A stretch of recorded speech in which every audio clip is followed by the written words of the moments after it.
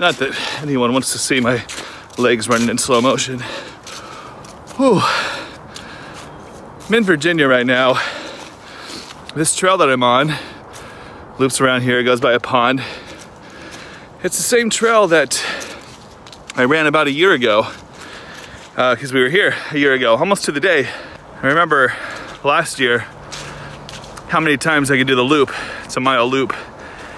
And this year, one year later, I'm not doing any more loops than I was last year.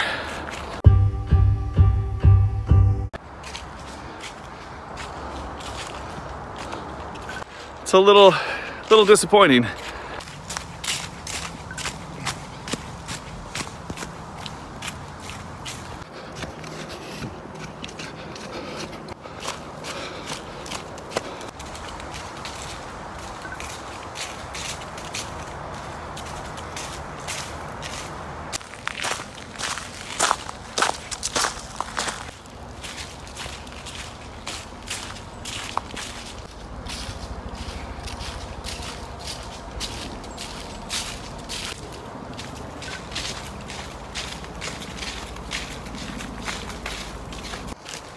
I realize as I'm running that the same feeling I have of kind of being defeated, getting bummed out about not having improved on my running in a year is about the same way I feel about a lot of things, a lot of goals that I set for myself. There have been certain expectations, goals, things that I wanted to accomplish, and I haven't yet. And in some ways, I feel farther from achieving those things now than I did when I was a kid, even. Because a kid, you're just full of expectation and you think, man, the world can be mine. At least I did. And then you get out in it and you realize that life can be awful sometimes. Sometimes wonderful. Sometimes you just want to quit not life. I mean, running. Still keeping with the running metaphor. Careful there. Let me just list out some of the things that I've been feeling defeated over. Get them off my chest so that maybe you'll feel a little better. One, I thought I'd be a filmmaker by now. I thought I'd be a legitimate working in Hollywood filmmaker. Instead, I make videos for iPhone cases and new tech products that won't go anywhere and work on other people's films. Haven't made my own yet. Working on it, but I'm not there yet. So I'm 35 years old and just now working on my first film. Now that's great. Nothing nothing wrong with that, but I thought I'd be a lot farther along by now. Another thing, YouTube. I thought, man, I'll do YouTube. YouTube channels, I make videos for a living. I can totally do YouTube. Gonna be great. People are gonna love it. I've done YouTube for quite a while now, and you know, you, it, it's very defeating. You feel like, what's the point? Why do we even put out videos? We get, you know, not very many views. We love you watching. You're the only one we love. We do this specifically for you, but you know, if we could just have a lot more of you, it'd feel a lot more validating. You feel like, man, we've done well. We've succeeded say the word succeeded, it's something that I talk to my kids a lot about because success can be defined in so many different ways. And it's really your own definition of success that really matters to you. And everybody has, I think, varying definitions of success. There's kind of the overarching, like, success means that uh, you've made it. And success is really valued in this world in America by the number of dollars somebody pays you for what you do.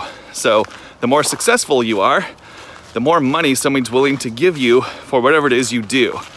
There's that kind of success.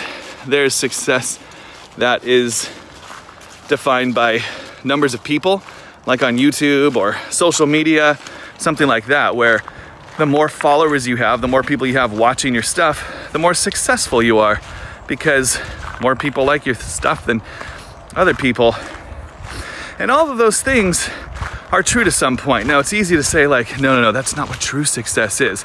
But in reality, That's the success that most of us use as a benchmark. And for most of us as kids, that's the part of success that we want.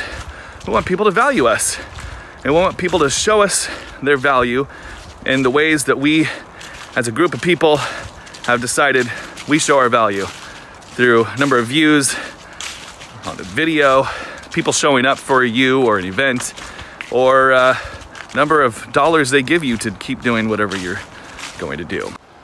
Now, I realize that's just that's one type of success. That's the kind of success that most people, the world puts on you, the pressure that you have.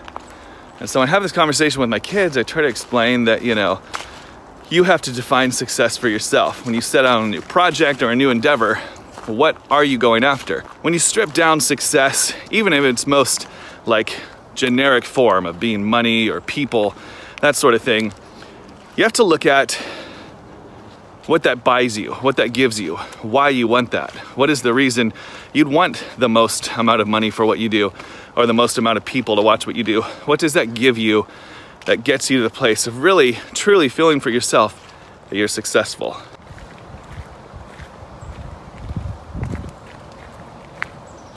I realize for everybody it's probably a little bit different. For me though, it is time. I think a lot of people would agree with that. Time. Money buys us freedom and time. And if we get the money through people watching videos or people showing up at an event or whatever it may be, buying your product, then so be it. We just want freedom to do the things that matter to us. And the thing that matters to you might be different than the thing that matters to me. For me, if I really am honest with myself, it's all about my family. I mean, when you strip down everything in this world, the only thing we have any control over is how we treat the people we're closest to and how they see us and that relationship. And that relationship for me, people who are closest to me, my wife and my three kids. So if those are the things that really matter the most, those are the people, the things that I have the most influence over, and the thing that I can change in this world, how I treat them and how they see me, then that should be the thing I'm really benchmarking or setting my bar as success. How can I do that better? What does it take? What's it gonna take to do that? Is it more time? Is it more money? Is it more intentionality? Is it just working on yourself to become a better person so that you value yourself more? Because we can't value other people unless we really value ourselves first. So, I don't know, it's a lot of things. It's confusing, but I'll tell you, when I'm out running the same track I was running a year ago and I haven't improved at all, and I look at other areas of my life that I've set goals for myself, I haven't improved at those, gets a little disappointing. But the thing that I've noticed is when I look at the things that actually matter to me, which takes a little work to get to that place of what really matters, what am I really working for, what am I really living for, you strip all that down to its core simple thing, I actually feel like in the last year or so, I've done a heck of a lot better than I did before with those relationships. So actually I feel pretty good now. Glad we had this talk. I was actually feeling pretty lame. Like it just, just like, uh, you know, you get feeling like all those things, you look at tasks and things that people look at, the public part of you, you know, and, the, and that, if that isn't improving or if it's not seemingly improving, if your Facebook isn't showing that you're getting better, stronger, living healthier, and all those things, then you start to feel bad about yourself. I think it's important though, this is my takeaway for me personally. It's important to reevaluate every once in a while and relook at, refocus on what actually matters. What is the goal? What's the goal behind the goal? Like it may be to make more money. Maybe you need to make more money, but you want to make more money so that what? And then that does what? When you get down to that core, that's the thing that really matters. That's the thing I want to be improving on. I actually feel like I have. So maybe I'm not running any longer or any faster. Maybe our YouTube channel is never going to go anywhere. And maybe this film will never be as, as successful as I want it to be. But if by next year I'm having better intentional time with my family and they're seeing me better or more closer, if, if my family's seeing me closer and closer to the person I really want them to see me as, and I'm strengthening those relationships, I think I'm doing okay. That feels pretty good. All right, I'm gonna keep running. Oh God. No, I'm not. I'm done. I'm exhausted. I'm going home. Trailer home.